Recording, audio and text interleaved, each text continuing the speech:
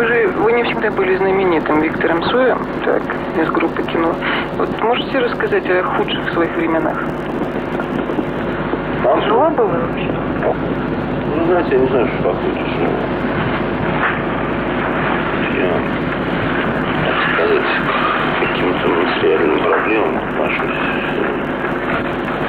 Я имею в виду материальные проблемы не, не в смысле отсутствия наличности, а в смысле каких-то, так сказать, бытовых лишений.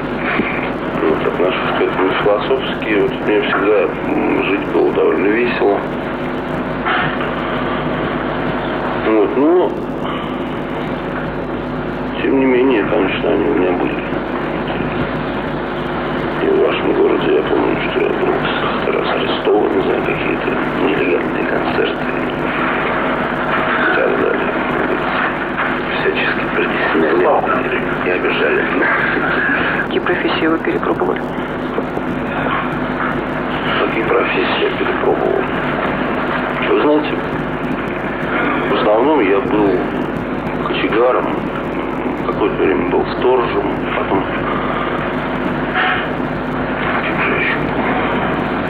матросом-спасателем.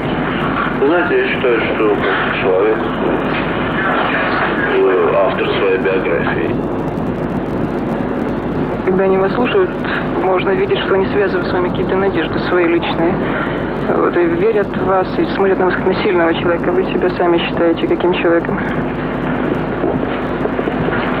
Знаете, никакой человек не может быть сильным всегда. Вот. Я думаю, что любой из здесь присутствующих, вообще живущих на Земле, человек в какие-то минуты способен на слабости, способен на сильные поступки. Я не думаю, что я чем-то отличаюсь от остальных.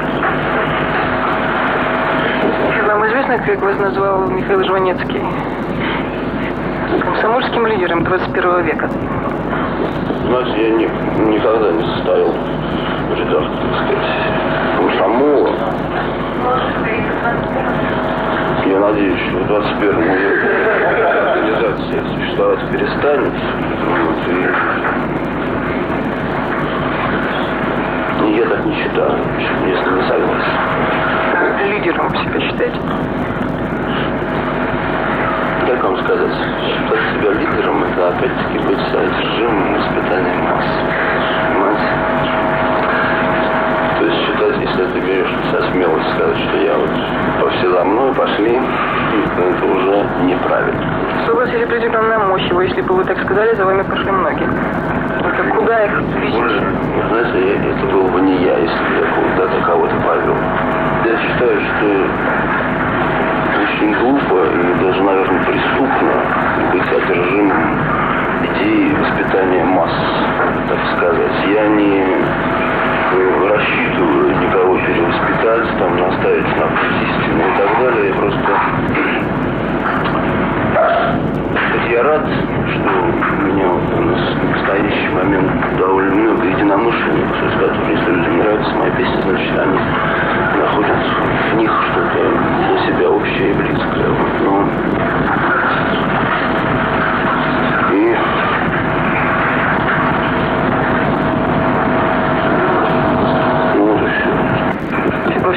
всесоюзном хит-параде вас признали лучшим поэтом года. Вот как вы к этому относитесь и не собираетесь ли вы стать членом Союза писателей? Нет, я не собираюсь стать членом Союза писателей. Ну, вот хит-парадом отношения тоже у меня очень сложные. То есть я не считаю это ни показателем, каким бы то ни было, ни вещью, реально отражающей ситуацию. Мне кажется, что газету пишет все-таки определенный очень контингент людей. И короче, общественное мнение целиком хит-парада не отражает. Но, тем не менее, это, в общем, довольно приятно. И, ну, я к этому отношусь несерьезно.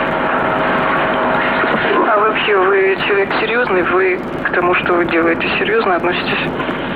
Вы знаете, я считаю, что если начать серьезно относиться к любому роду деятельности, то ничего хорошего не получится. Любовь и счастье. Как вы определяете для себя эти понятия?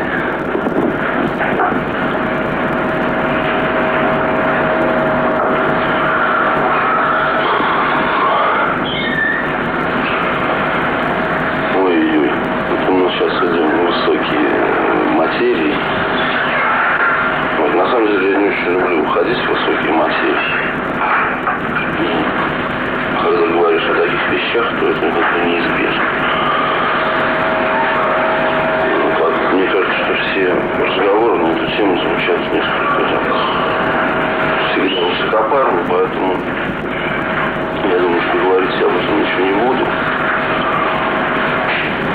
И, ну, кроме того, что я считаю, что для каждого человека это вещи достаточно интимные.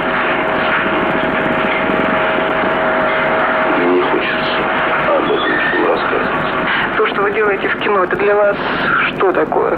Хобби, вы просто переход, переключаетесь на другой род деятельности. Как вы для себя это объясняете?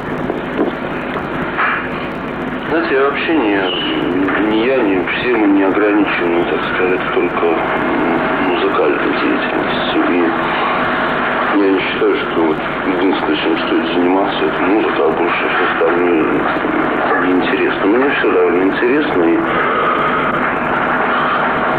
том числе и кино. Мне говорили многие ваши поклонники, молодые люди, что вы им нравитесь за то, что вы ни на кого не похожи. Вот. Это вот не похожесть, я даже не знаю, как спросить. Это, в принципе, у вас существует имидж вот такой? Или вы такой на самом деле? Какой? На самом деле, такой, какой я есть. виконуємо свої обіцянки і зараз передаємо мікрофон нашому колезі Олександру Ягольнику, який зустрівся з Віктором Цоєм під час його гастролей у Києві. Ну, если мы были совсем подпольной группой, то сейчас, ну, наверное, так нас уже назвать нельзя, что сейчас у нас своей публики гораздо больше, чем раньше. Если раньше мы были так, точно такой известной группой в русском кругу, то сейчас я думаю, что вот здесь есть ну, конкретное количество людей, которым нравится группа кино, и которые не предпочитают, скажем, всем остальным группам. Карьера в кинематографе. Сначала в фильме Соловьева «Аса», потом, пожалуй, самая нашумевшая работа, главный герой по тем временам супербоевика советского киноискусства. Я имею в виду фильм «Игла». Это дань моде, попытка пропаганды творчества группы кино, возможность самовыразиться в масштабе всей страны или желание заработать кучу денег. Ну, знаете, я этим занялся, потому что мне было это интересно. Я не знаю, как насчет остальных. Касается меркантильных соображений, то их у меня не было. А сейчас вам не предлагают главных ролей? Мне довольно много было него разных предложений, я сейчас от всех отказывался. Если это не секретная информация, можно узнать, какие были предложения? Мне предлагали сниматься в роли Маугли в э, каком-то мюзикле. Виктор Цой в роли Маугли? Да, чему-чему, а в чувстве юмора сценаристу, наверное, не откажешь. Ну, знаете, может быть, это остроумно, но, так сказать, идея этого мюзикла была, по-моему, совершенно... Я просто не хочу ничего говорить, но мне она была интересна. Хорошо. А можно смоделировать такую ситуацию, чтобы для певца, композитора Виктора Цоя съемочный процесс был, что называется, в кайф? Мне с удовольствием снимался в фильме, чтобы мне предоставлялась возможность, так сказать, ничего там вообще не играть. Вот, ну, как правило, если я получал какие-то предложения, то там требовалось именно вот, что-то там играть. Я имею в виду играть, ну, актерствовать. А теперь, если не возражаете, Нет. Несколько близ вопросов программы Близ. Итак, ваш любимый цвет? Любимое блюдо. Любимый цвет. Роза. Любимая футбольная команда. Нет. Любимый вид спорта. Ну, довольно много видов спорта, связанных со, скажем, с еди- с единоборством.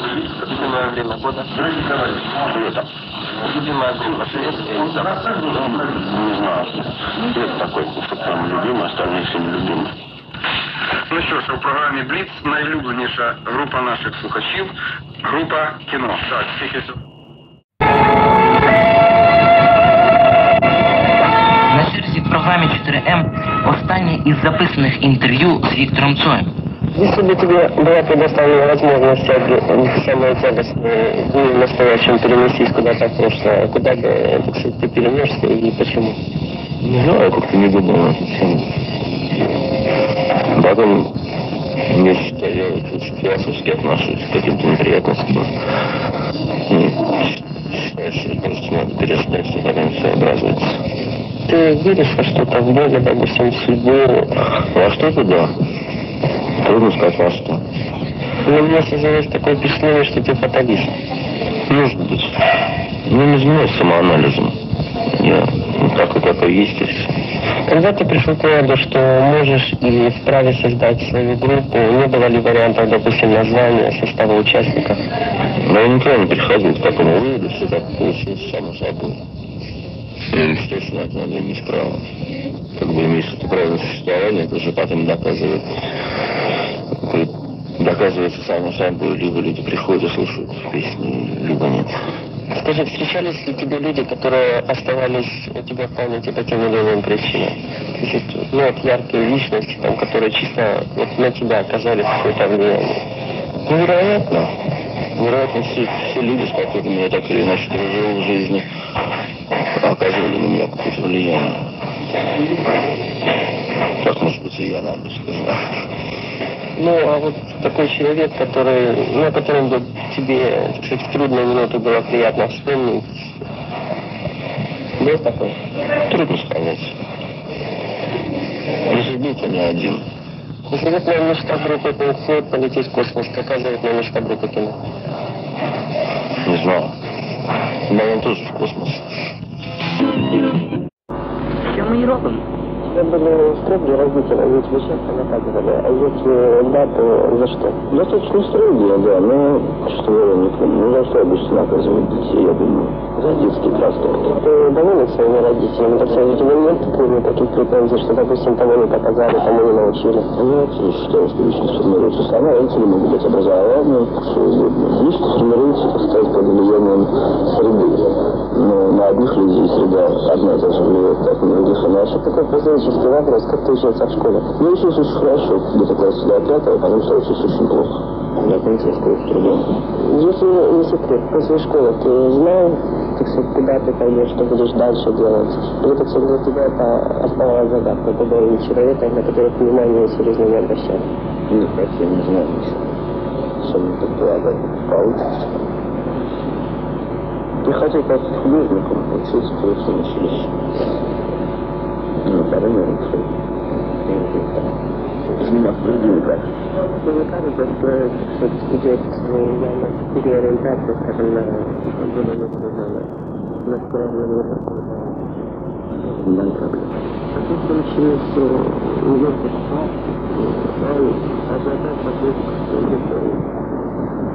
В случае складываются взаимоотношения в коллективе.